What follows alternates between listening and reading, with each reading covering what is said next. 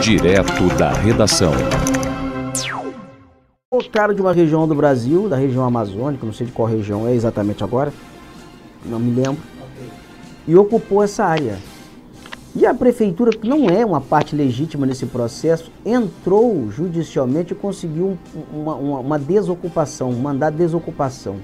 E a execução foi extremamente violenta. Nós mostramos aqui na semana passada as imagens, justamente com a Cláudia Freitas. E a Cláudia Freitas agora ela retoma, isso mostrando em que estágio está esse processo em Mangaratiba. Cláudia Freitas do portal Eu Rio. Bom dia. Bom dia, Roberto. Bom dia a todos que estão ligados aí no direto da redação. Como você disse agora, Roberto, na quinta-feira passada, a gente trouxe aqui no jornalismo o caso dessa reintegração de posse que aconteceu na reserva Saí, que fica no Parque Cunhambembê, em Mangaratiba. E é, é, os agentes da Prefeitura de Mangaratiba, da Polícia Militar e da Justiça estiveram no local para poder fazer essa desocupação, né? E acabou em conflito ali com os indígenas que estavam na área, esses agentes com os indígenas, eles estavam cumprindo uma é, determinação emitida pelo Fórum da Comarca de Mangaratiba. Vamos recapitular um pouco esse caso aqui para quem não está acompanhando. É, a reserva Saí, ela está sendo ocupada por indígenas de diversas etnias que vieram do sul da Bahia. Da Bahia.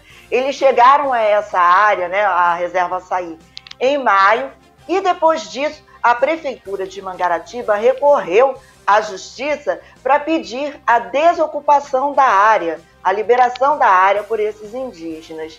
É, a, é, a, prefeitura, né, o prefeito de Mangaratiba, o Alain Bombeiro, ele se pautou em três pontos. Ele disse que essa área pertence ao município, ela fica ali ao lado né, do, do, de uma base do INEA, por sinal. Ele também se pautou numa determinação, na verdade, num posicionamento da FUNAI, que não reconheceu esse grupo como sendo indígena e também é, segundo o, a prefeitura, há laudos que comprovam que tava, uh, estavam ocorrendo crimes ambientais nessa área onde os, os indígenas estavam ocupando. A comarca de Mangaratiba deu um parecer favorável à prefeitura, acolheu esse pedido da prefeitura e é, foi quando aconteceu, né, autorizou essa reintegração de posse, que aconteceu na segunda-feira passada, hoje está completando aí uma semana, foi no dia 11, e acabou em conflito entre indígenas e os agentes que estavam ali para cumprir essa determinação da justiça nós entramos em contato com o INEA, pedimos um posicionamento do INEA, que é responsável ali pelo gerenciamento, né, pela administração do Parque Coiambebê. Não obtivemos retorno. Nós também entramos em contato com a FUNAI. A FUNAI emitiu uma nota, Roberto, eu vou pegar essa nota aqui agora para ler aqui para gente, tá? Uma nota da FUNAI. Diz o seguinte: a Fundação Nacional do Índio, FUNAI, acompanha juntamente com os órgãos de segurança pública e ambiental os fatos ocorridos no Parque Estadual Cunhamambê, no Rio de Janeiro, bem como os seus desdobramentos. Enquanto a instituição pública, calcada na supremacia do interesse público, a FUNAI não coaduna com nenhum tipo de conduta ilícita, cabendo destacar o empenho e a promoção das ações para conscientização junto às comunidades indígenas acerca da inviabilidade da prática de atos ilícitos. No caso, o trabalho realizado pela unidade descentralizada da Fundação, localizada em Itaiaém, em São Paulo, a qual acompanha o caso. Essa foi a nota emitida pela, pela FUNAI, tá? que eu li aqui agora para gente. E nós estamos na linha, né? Nós estamos aqui no link com o advogado Ivan Braga. O Ivan, ele, ele hoje, ele não é, está uh, representando os indígenas, né? Parece que há um outro grupo de advogados que está representando, mas o Ivan, o doutor Ivan Braga, foi ele quem esteve ali durante a reintegração de posse, para poder orientar e garantir que os direitos dos indígenas prevalecessem. Né? É, bom dia, doutor Ivan Braga. Bom dia, Cláudia. Bom dia a todos. Doutor Ivan, Doutor Ivan, você esteve ali na, na, reintegração de posse, acompanhou, esteve. Por sinal, nós colocamos aqui um depoimento do senhor no link de quinta-feira. Desde quinta-feira, né, que nós mostramos aqui na reportagem essa reintegração de posse, até hoje, o que há de novidade nesse caso? O que você pode trazer de novo para a gente aqui em relação a esse caso? Bom, primeiro só esclarecer a todos que nós estávamos ali presentes, fomos chamados para garantir a integridade e que não houvesse arbitrariedade é, na, na na reintegração de posse. Tá?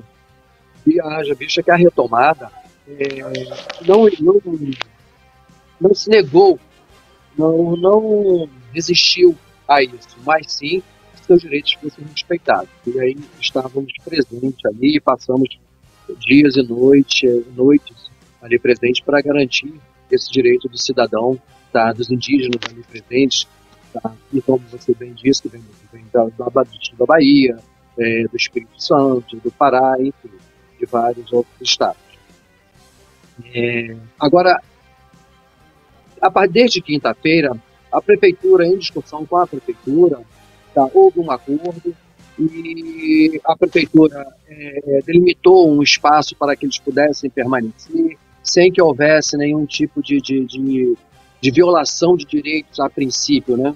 Então, trazendo uma certa, uma certa tranquilidade tanto para, para a prefeitura como para a, a retomada, tá? Que está presente ali no, no, no Vale do Saí, no Parque Cunha Bebê, é, essa retomada, é, Cunha Bebê Pindorama, né?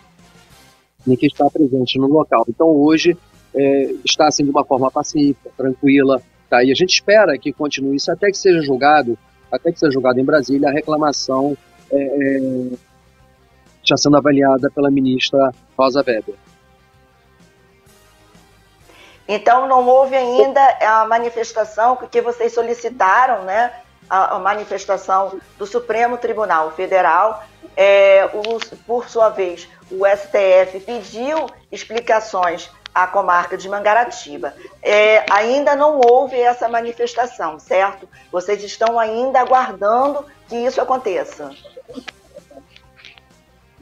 Estamos aguardando a avaliação pela ministra, porque já, já foi respondido, tá? Então, a controle concentrado em Brasília está fazendo essa certificado para que a ministra possa estar fazendo essa avaliação das informações é, obtidas, encaminhadas pelo, pelo, pelo juízo da comarca de Mangaratiba. Na quinta-feira, doutor Ivan, nós mostramos aqui que o clima, né, apesar da prefeitura ter dito que essa reintegração de posse ela aconteceu de forma pacífica, nós recebemos vídeos aqui dos indígenas que comprovam que realmente houve ali um clima muito tenso durante a reintegração de posse, muita confusão, pancadaria.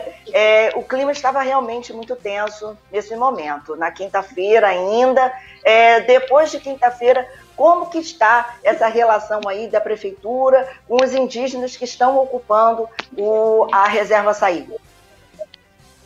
Realmente estava muito tenso, dia e noite, mas hoje, é, como eu já falei anteriormente, está mais tranquilo, porque acredito eu que justamente agora que pararam é, as partes, é, tanto a liderança como os advogados que representam realmente no STF, pararam e sentaram com o prefeito da, da, de Mangaratiba e entenderam que não é por esse caminho, não é por esse viés, e que sim é a partir da decisão é, do STF é que se vai dar o um encaminhamento correto a essa situação. Mas hoje, a princípio, está tranquilo, Mangaratiba está chovendo um pouco, mas é, a comunidade, é, a retomada está assim, sossegada lá no seu campo, delimitado pela prefeitura, com algumas restrições, tá? mas pelo menos não sofrendo, não passando por esse processo. Tá? Então, a gente observa que pela parte da prefeitura houve um momento de reflexão também, haja vista que os, os agentes, alguns agentes estavam é, influenciando e fazendo com que a situação se tornasse é, cada vez mais tensa, tá? E não passando assim pela, pela, pelo seu chefe, o chefe do Poder Executivo. É, e aí sim, hoje sim, está mais tranquila essa situação. E, Cláudia, eu gostaria também de deixar assim um apelo muito importante para que não só a população de Mangaratiba, mas toda, todos que não observam quando se fala de indígenas e índios. Tá? Então, é tratar com, com mais respeito indígena. Tá? E houve uma, houve uma manifestação, uma convocação para manifestação, em que vai falando no início indígenas e lá no final bota, é, coloca índios. Tá? Então, eu, eu vejo assim que as pessoas não procuram saber realmente o, o significado dessas duas palavras e a importância delas para, para os povos originários. Tá certo, doutor Ivan. Rapidamente aqui, a gente está excedendo um pouco o tempo, mas é, como o senhor acompanhou ali, o senhor tem acompanhado o caso, o senhor estava presente ali na reintegração de posse, é, só para esclarecer aqui, é, se houver uma decisão agora do STF favorável, inclusive à prefeitura, ainda há recurso, tem como ainda os indígenas, né, a defesa aí dos indígenas de recorrer? Bom, esse para todo, para todo, toda decisão sempre vai existir, mas é, é uma questão a ser analisada a partir da decisão, é, é, da decisão judicial. Porque o que acontece? Você, você, quando você fala no recurso, você até pensa né, mas é, é, justamente a fundamentação, é justamente o, o, o, relatório de decisão é que vai dizer a, quais são as possibilidades de recurso ou não. Tá? Mas eu acredito sim que exista. Entendi. Doutor Ivan Braga, muito obrigada pela sua participação. Que tudo dê certo é, nessa, nesse caso né, que está acontecendo ali na Reserva Saí, no Parque Cunha Bebê, em Mangaratiba. Roberto, volto com você no estúdio. Obrigada, Cláudia. bom dia a todos. Muito obrigado, Cláudia Freitas, do portal Eu Rio.